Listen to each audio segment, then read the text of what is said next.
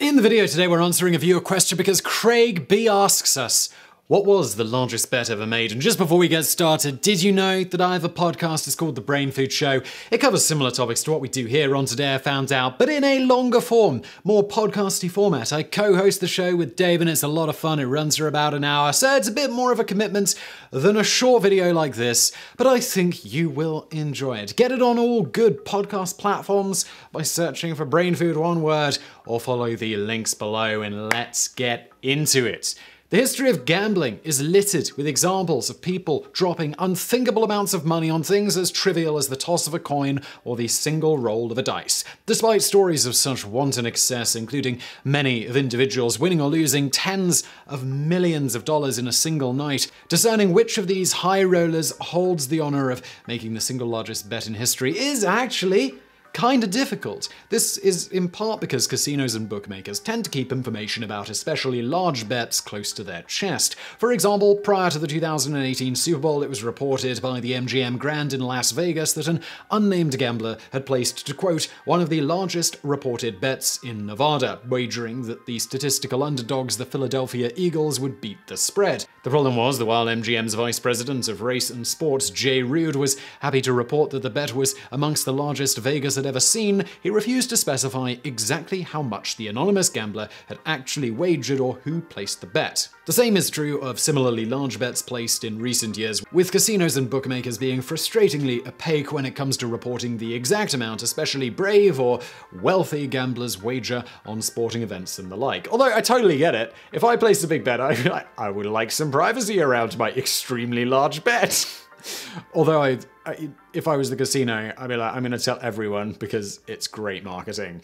All this said, the nature of high stakes gambling and the kind of personality that tends to gravitate towards it means that there are countless stories out there detailing, frankly, astonishing displays of testicular fortitude. As for a few of the largest such single bets we could track down, consider the story of William Lee Bergstrom, better known more simply as the Phantom Gambler, before his identity was later discovered. In September of 1980, Bergstrom casually strolled into Binion's Horseshoe Casino in Las Vegas carrying $770,000, about $2.6 million today, in cash in a suitcase. He subsequently walked over to the craps table and explained that he'd like to bet it all on a single throw of a dice. A wager, it should be noted, that represented at the time the single largest well documented bet ever placed in the United States. After a few nervous glances were exchanged between the croupier and the pit boss, casino owner Ted Binion intervened and told Bergstrom that the casino would of course honor the bet and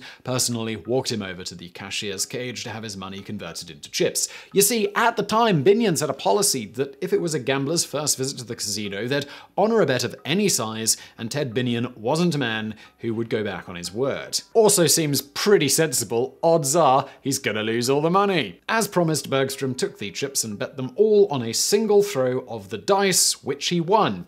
Bad times for the casino, I suppose. Bergstrom then walked back over to the cashier's cage and had all his winnings converted back into cash, which he then divided between the original suitcases money had been stored inside of and an empty suitcase he'd seemingly brought along just in case he won. At this point, I'd begin questioning whether he cheated or was some sort of magical time traveler.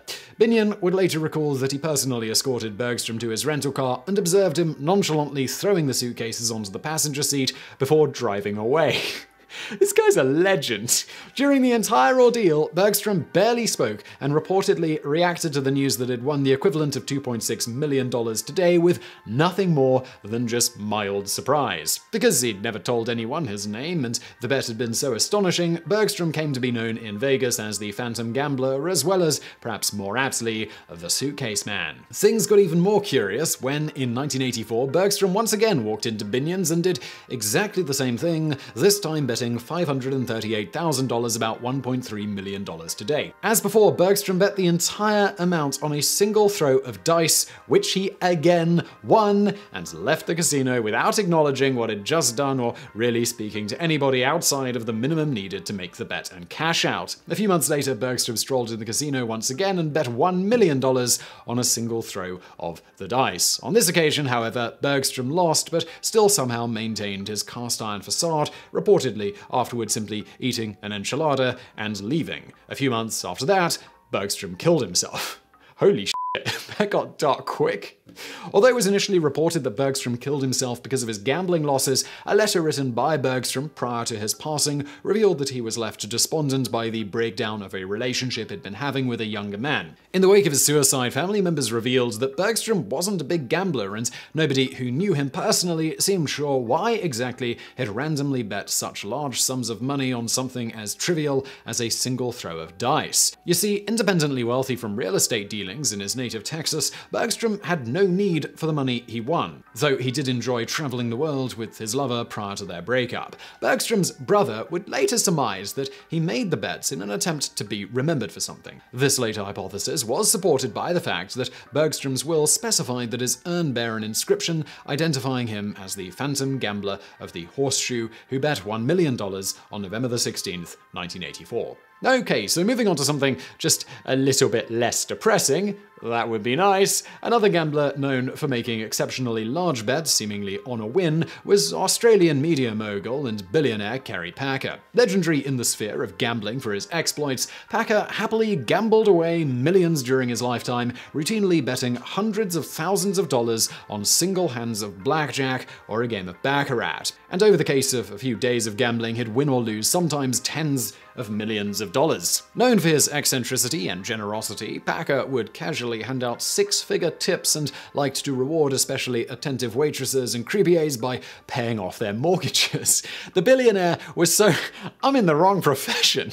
The billionaire was so well known for this that during his lifetime, a popular adage amongst casino workers in Las Vegas was that nobody called in sick when Kerry Packer was in town. On one occasion, Packer attempted to tip a croupier $80,000 who explained to him that because all tips had to be pooled, she would only get a small portion of it. A furious Packer, who by the way was also known for having a bit of a temper, called over the casino's owner and demanded that he fire the girl on the spot. Not wanting to lose the casino's best customer, the owner did just that, at which point Packer handed her the $80,000 and demanded the owner rehire her. On another occasion, in 1990, Packer was taken ill and needed to be rushed to the hospital. Not long after, each of the ambulance crew were given $1 million for their services. On yet another occasion, upon learning that the casino staff had lost out on a $40,000 bonus because it won too much money, he tipped the entire staff $1.3 million.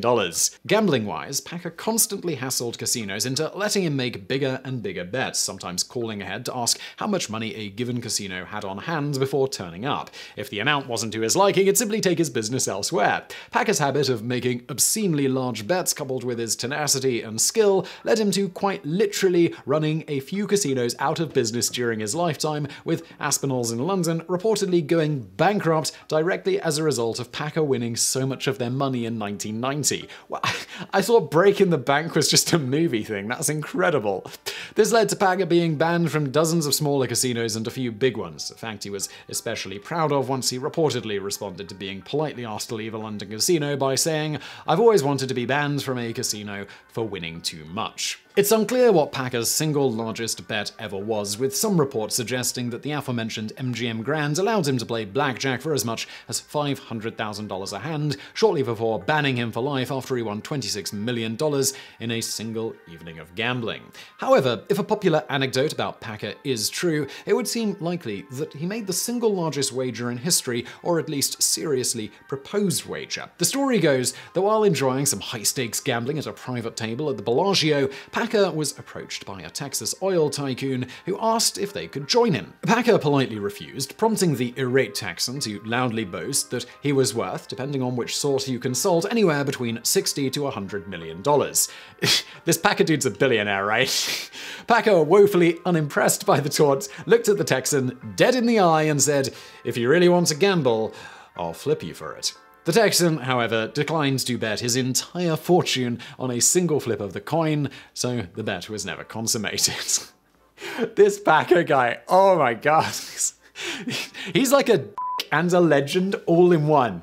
So, is the story actually true? Well, for what it's worth, it has been independently confirmed by multiple sources, including Mirage Resorts CEO Bobby Baldwin, who claims to have personally witnessed the exchange. If true, we feel fairly confident that Packer likely holds the record for the largest bet ever seriously proposed, though not placed or won. Of course, Packer was worth billions, so even $100 million wasn't exactly going to change anything about his lifestyle if he lost or won. So, this all brings us to the honorable mention for the most ballsy bet of all time, which happens to also be a rather large one, at least by most people's standards. Oh, I know this story. This is the dude who bets everything. Enter then 32 year old Ashley Revell. Although Revell's bet was for a comparatively paltry £76,840, roughly $180,000 today, the amount represented every penny that he had to his name. You see, in addition to clearing out his savings, Revell sold all of his possessions down to the shirt off his back. He made the bet in a rented tuxedo. In other words, outside of perhaps the value of his underwear, assuming he was wearing any, Revell was quite literally betting everything he had. While there are many stories of people gambling away their every possession, even the wealthy, such as a story we've covered before of that guy who took $50, turned it into $40 million via gambling, and then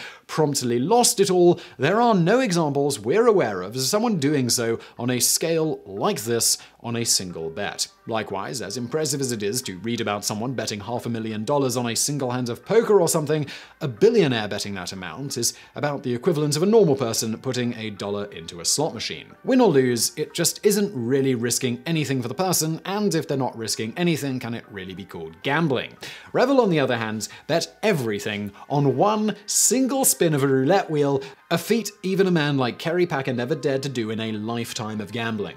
So, what happens? Well, he bet it all on red, and he won, managing to double his money in one spin, giving him roughly the equivalent of $360,000 today. He admitted after the experience that it was a mad thing to do, and I'm thinking back now about what would have happened if I'd lost. I'd have nothing to go back to, nothing to wear, but I'd still have my friends, my family, and they'd always be there for me. So they gave me the security to be able to do this. Unlike many who win big in gambling, Ashley decided that tempting fate once was enough for him. He declined to bet a second time and cashed in his chips at the table and walked away. As for what happens after, Revell spent a small portion of his winnings on a motorcycle trip around Europe where he met a girl in Holland. He states, I took her back to England with me, we married, and now we've got two children. You could say I have my bet to thank for finding me a wife. So, if you think about it, while he didn't know it at the time, that single bet wasn't just for his entire net worth, but he was also gambling his wife and the lives of his two children, the latter of which would have never existed had he lost. Flawless logic there. And I really hope you enjoyed this video. If you did, smash that like button below and do not forget to subscribe. Brand new videos every day of the week. And check out that podcast that I mentioned at the top of the show. And thank you for watching.